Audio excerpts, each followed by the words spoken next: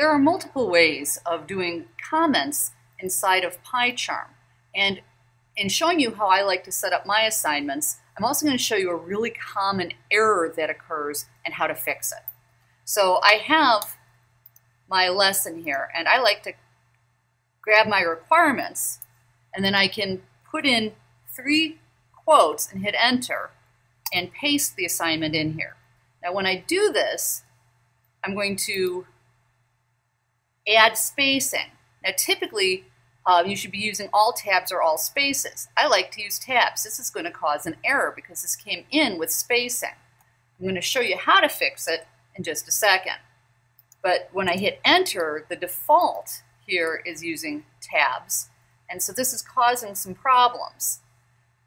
PyCharm wants everything to be tabs or spaces, not a mix.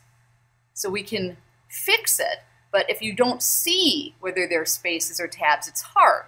So these are spaces and these are tabs. To get this to show up, you're going to need to go into your PyCharm preferences. You're going to need to go into the editor general appearance and make sure to show white spaces.